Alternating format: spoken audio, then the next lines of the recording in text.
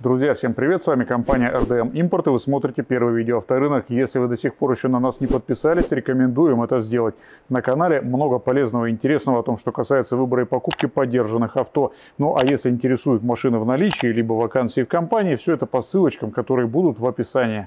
Обычно в наших обзорах мы ведем речь про японские либо корейские автомобили, но сегодня у нас на подъемнике немец. Причем немец с чистой родословной, а не как в случае с Opel Antara корейского происхождения. На этот автомобиль вы можете обратить внимание, если вы хотите себе премиум, а при этом нужен компактный и удобный для езды в городе кроссовер. Да еще по возможности с небольшим транспортным налогом и расходом топлива. Разброс цен на эти автомобили в настоящий момент огромный. Сразу предупредим, что поиск экземпляров по низу рынка в настоящих условиях не будет целесообразен, ввиду того, что реставрация подобной машины может обойтись весьма дорого. Так что, если вы будете искать себе такую машину, советуем остановиться на рестайлинговом варианте. И сегодня у нас в обзоре как раз такой. Встречайте, Mercedes-Benz GLK. Компактный кроссовер Mercedes GLK был представлен в 2008 году. Машина продержалась на конвейере достаточно долго по современным меркам – 7 лет. Последние экземпляры покинули сборочные линии в 2015. При этом в 2012 году машину провели через рестайлинг, в ходе которого не только освежили косметически, но и добавили под капот новые агрегаты. При этом нужно отметить, что в отличие от прочих моделей концерна Mercedes, например, C или E класса у GLK не было такого разнообразия выбора двигателей или коробок передач. На дорестайлинговых машинах бензиновые моторы были только большеобъемными 3 либо 3,5 литра 231 либо 272 лошадиные силы. И только в конфигурации V6. На рестайлинговых автомобилях появилась турбо-четверка объемом 2 литра мощностью 184 либо 211 лошадиных сил. Компания Mercedes всегда отличалась приверженностью к дизелестроению, и ГЛК эта тенденция стороной не обошла. У Дори Стайлинга встречались дизельные моторы объемом 2,1 литра на 170 лошадей, рядная четверка, либо V6 3 литра на 224 лошадиные силы. На большинстве таких автомобилей на российской вторичке коробка передач представляет собой классический семиступенчатый автомат. Ну а привод у этих моделей, соответственно, полный. Сегодня у нас на подъемнике рестайлинг 2013 года выпуска. Это дизель 2.1 на 170 лошадей. Здесь автоматическое КПП, полный привод и родной пробег 128 тысяч километров. Что такое компактный кроссовер по мнению немецких инженеров? Длина кузова ГЛК 4 метра 52 сантиметра. Ширина метр восемьдесят пять, а высота метр шестьдесят девять. Колесная база автомобиля при этом больше, чем у седана Toyota Mark II в сотом кузове и составляет 2 метра 75 сантиметров. Радиус разворота относительно небольшой 5,8 метра. А вот снаряженная масса для автомобиля таких габаритов здесь весьма приличная 1850 килограмм. Максимально разрешенная же может доходить до 2,5 тонн. Что касается толщины лакокрасочного покрытия, то для заводской краски разброс показаний толщиномера у Mercedes GLK будет лежать в диапазоне от 95-100 до 120-130 микрон. И это крайнее значение. Также все кузовные панели этого автомобиля, помимо окраса, имеют еще и хороший слой оцинковки, поэтому в плане коррозии эти машины весьма благополучно и даже в почтенном возрасте чувствуют себя хорошо. Единственное, что эти автомобили, как и E-класс в кузове V212, не обошла стороной проблема с отслоением лакокрасочного покрытия. Особенно часто это проявляется в районе колесных арок. Однако ржавчина в этих местах появляться не торопится. По сути дела, дефект относится к сугубо косметическому, хотя и неприятному. Когда вы выбираете автомобиль из нескольких моделей и не имеете возможности в моменте примерить его, как говорится, на себя, всегда интересно, как обстоят дела с пространством внутри, в салоне и в багажнике. Из багажника начнем – все-таки ГЛК – это кроссовер, который вполне может претендовать на роль единственной в семье машины. Доступ в багажник нам открывает массивная пятая дверь с электроприводом. Вооружимся рулеткой и посмотрим на размеры проема багажника и самого багажного отделения. Ширина проема багажника по его средней части 117 сантиметров. Высота от фальшпола до крыши 77. Ширина багажника по полу в данном случае 93 сантиметра. Но нужно учесть, что предыдущий собственник поставил сюда сабвуфер, чем отнял от ширины багажника порядка 12 сантиметров. При этом, если вы сложите заднее сиденье, то сможете увести здесь груз длиной до метр шестьдесят. А если протолкнуть длинный груз между сиденьями, что вполне реально с учетом отсутствия селектора на центральном тоннеле, то можете грузить сюда нечто длиной до 2,45. Кстати, сиденья в этом компактном кроссовере, по идее не предназначенном для грузоперевозок, складываются в ровный пол. Правда, делать это придется из салона, либо из багажника, но с приличным шансом измазать брюки о бампер. Что касается каких-то дополнительных удобств и фишек по багажному отделению, кроме того факта, что все здесь отделано ворсовым материалом и пластмассовый только небольшой лоток с правой стороны под мелочевку, отметить можно разве что плафон освещения, петли для крепления сетки, фиксирующие груз. Справа за фальшпанелью у нас располагается знак аварийной остановки, а под фальшполом запасное колесо в формате докатки и набор штатного инструмента. Подводя итог, в целом объем багажного отделения для компактного кроссовера у ГЛК вполне приличный. С хозяйственными функциями в семье справится. Что касается салона и удобства посадки в автомобиль, первое, что отмечаешь, попадая в эту в целом небольшую с виду машину, это обилие пространства внутри.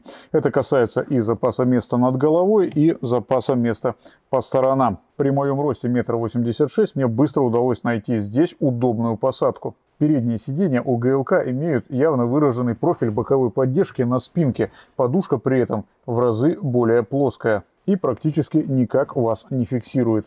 Что касается регулировок, то в данном случае водительское и пассажирское сиденье частично электрифицированы.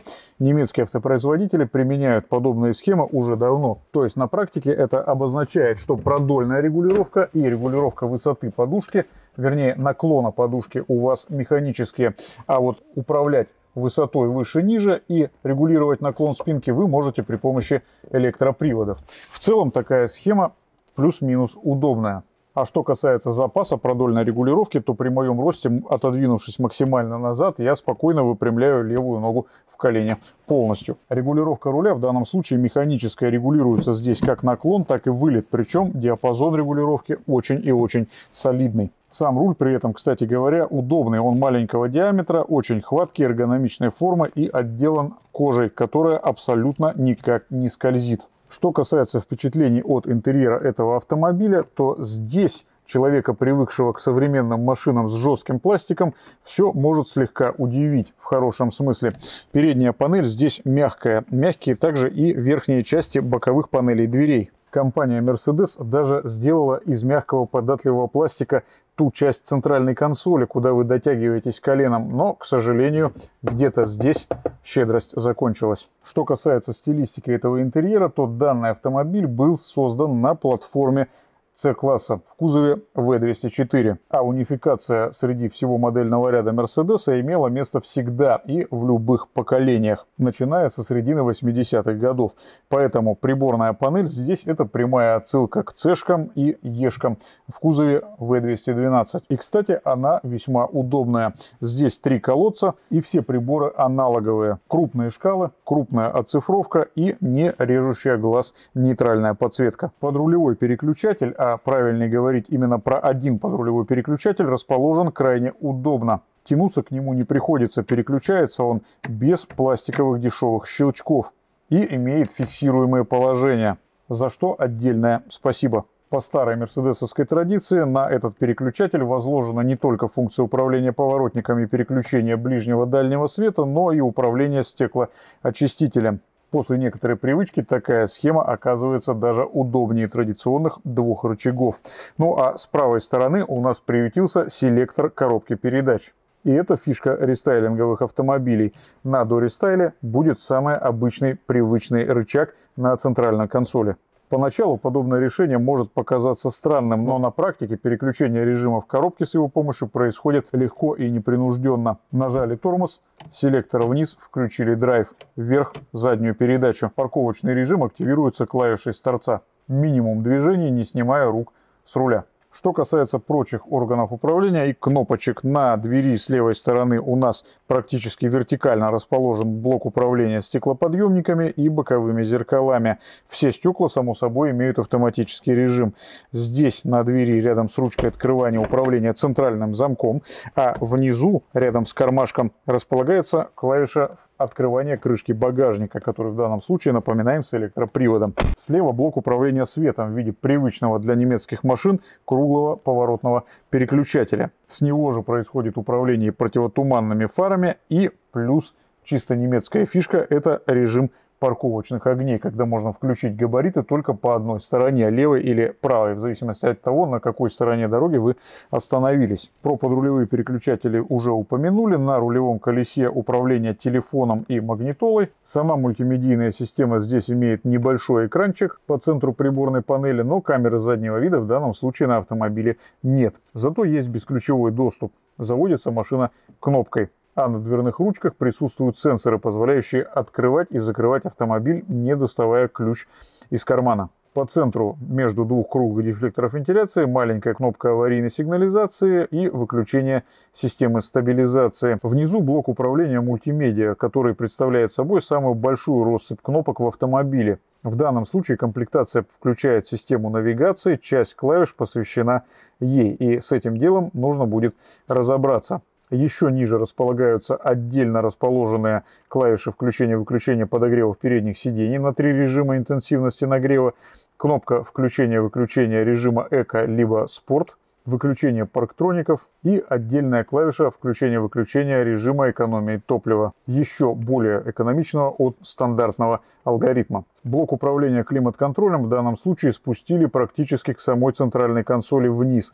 Здесь удобные поворотные шайбы, при помощи которых регулируется температура, и тактильно различимые клавиши, которые позволяют управлять оборотами вентилятора, режимами направления обдува, выключить климат полностью или включить обогрев заднего стекла. При некоторой привычке всем этим делом можно управлять и не отвлекаясь от дороги, хотя здесь есть авторежим, и, как показывает практика, на немецких автомобилях работает он всегда адекватно. Ну и в завершение шайба управления мультимедийной системой для навигации меню, которая расположена перед подлокотником на центральном тоннеле. Что касается мест для хранения, бардачков и прочих интересных моментов. В центральной консоли мы сразу видим два больших и глубоких подстаканника.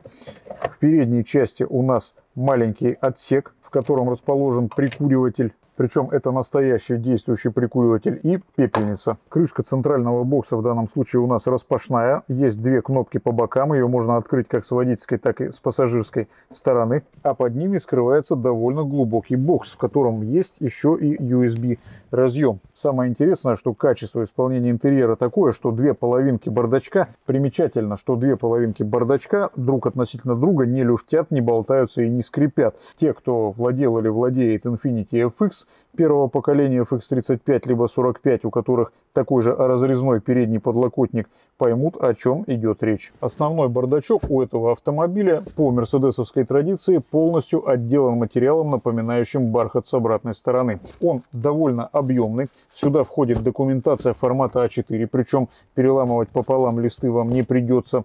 Есть отдельно небольшой кармашек, где должна была располагаться изначально техническая документация по машине и отдельный держатель для ручек. Внизу дверных карт присутствуют карманы, правда, без всяких углублений под бутылку. Ее вообще сюда не поместить. Кармашки узкие, предназначены больше для перчаток или чего-то вот подобного формата. Что касается обзорности, то с поправкой на высокую посадку, а посадка здесь действительно вертикальная, как на внедорожниках, с обзорностью ГЛК все в порядке, если не считать широкие передние стойки в зоне зеркал. А зато лобовое стекло практически вертикальное. Это и непривычно, и удобно одновременно. Капот видимый, линия остекления низкая, но вот боковые зеркала могли бы быть и побольше. Хотя в данном случае на краю зеркала есть зона с преломлением, которая позволяет вам исключить мертвые зоны при маневрировании. Ну а теперь давайте посмотрим, как обстоят дела на втором ряду. Что касается заднего сидения ГЛК, то оно полностью плоское в части своей подушки. Так что, по идее, третьему пассажиру здесь было бы вполне вольготно, если бы не одно «но».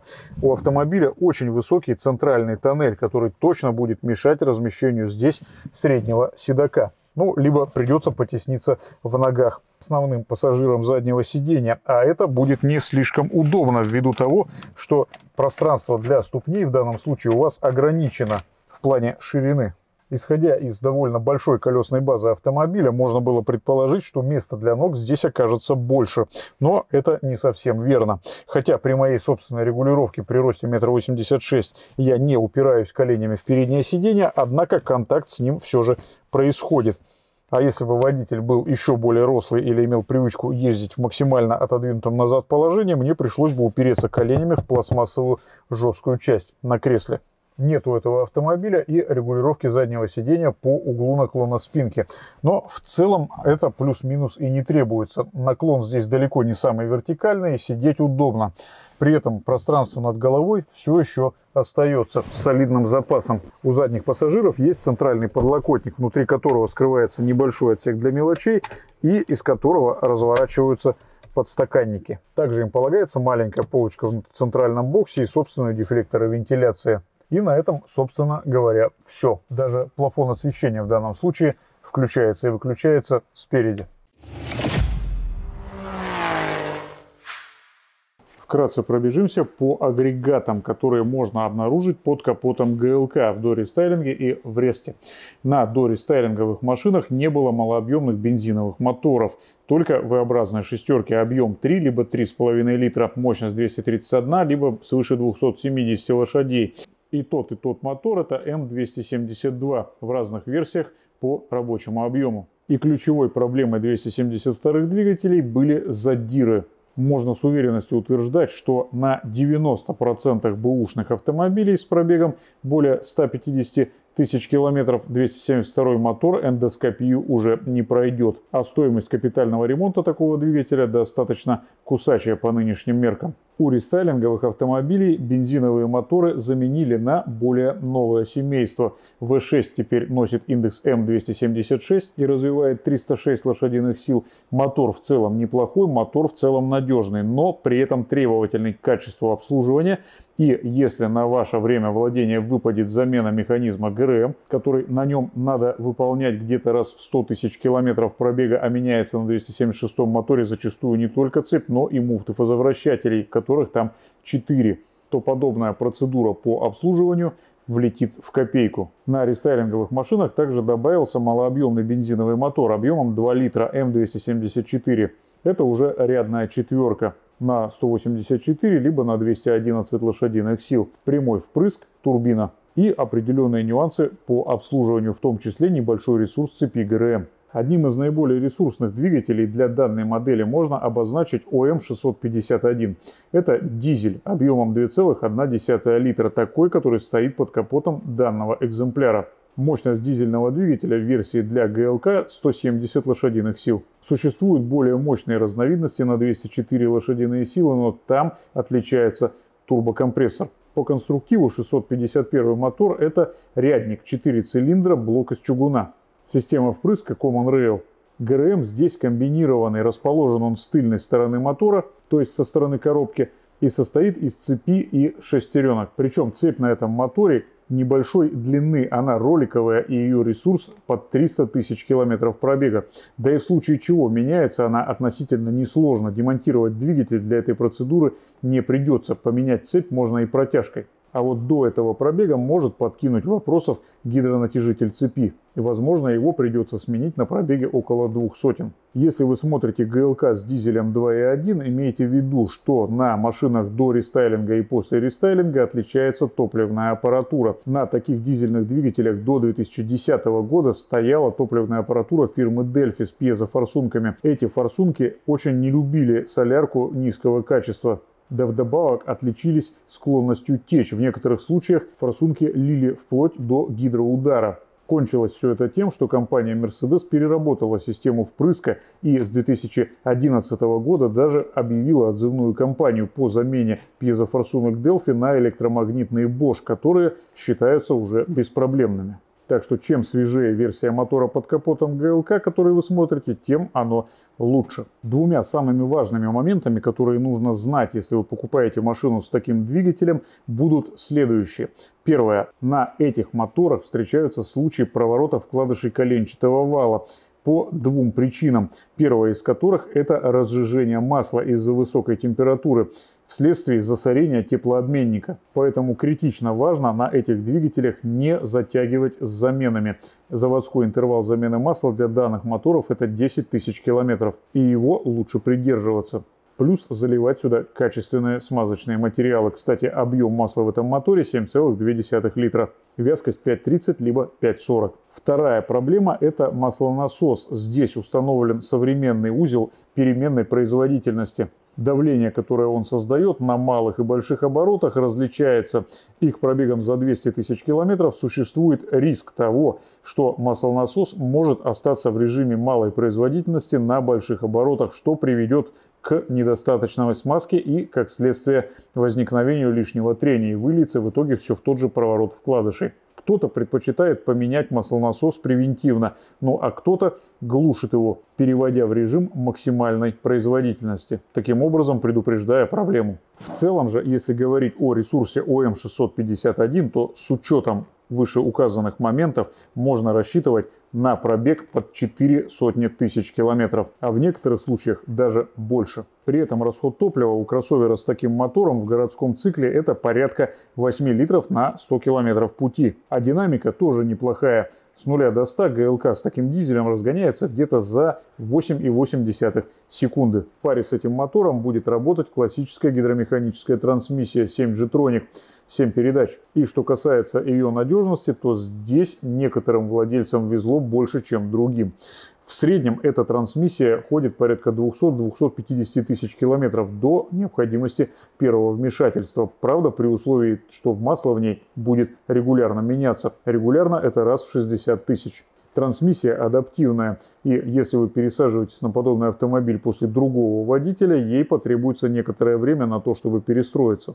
Исходя из личного опыта взаимодействия с подобными машинами, приходилось наблюдать картину, когда под одним водителем автомобиль ведет себя абсолютно адекватно, второй же постоянно жалуется на толчки при переключениях и неадекватность реакции КПП. На что надо обращать особо пристальное внимание, так это на отсутствие гула при движении, поскольку подобный момент может указывать на грядущую проблему, выливающуюся в замену подшипников редуктора. Но вообще, конечно, Mercedes GLK не относится к тем автомобилям, которые можно покупать без диагностики в профильном сервисе. Да и цеплять диагностический сканер сюда лучше тоже мерседесовский, специализированный, который расскажет вам про автомобиль абсолютно все. Универсальное оборудование для сканирования в данном случае может и не показать полную подноготную. Но перед тем, как посмотреть на ГЛК снизу на подъемнике, давайте пробежимся по дорожному просвету. Каталожное значение для этого автомобиля 150 мм. И самая низкая точка здесь находится под защитой моторного отсека расстояние до нее как раз таки те самые 150, а вот резиновый брызговик под бампером находится чуть повыше, в районе 17 сантиметров. При этом сам край переднего бампера в 22 сантиметрах от поверхности земли, так что парковаться к бордюру на этом автомобиле можно смело. Расстояние до порога за передним колесом 23 сантиметра. В задней части то же самое, 23. Но до края заднего бампера целых 25 сантиметров. При этом сантиметра на 3 ниже отметки свисает банка глушителя. В целом, с учетом того, что GLK это не внедорожник, а скорее просто высокий легковой автомобиль, клиренс у него для условий эксплуатации в городе более чем достаточный. Что касается ходовой части Mercedes GLK, по сути дела, передняя подвеска здесь представляет собой Макферсон, но с поправкой на немецкий инжиниринг. И если на большинстве корейцев и японцев мы видим один большой рычаг внизу, то в данном случае рычагов у нас два. Соответственно, и шаровых опор тоже по две на каждой стороне. Рулевая рейка на этих автомобилях будет отличаться по исполнению в зависимости от того, дорестайлинг или рестайлинг перед вами. На дорестайлинговых машинах рейка обычная гидравлическая с насосом. Смотреть такую на предмет течи стоит обязательно. Были вопросы к надежности и самого насоса ГУР. А вот электрорейка получилась уже удачнее.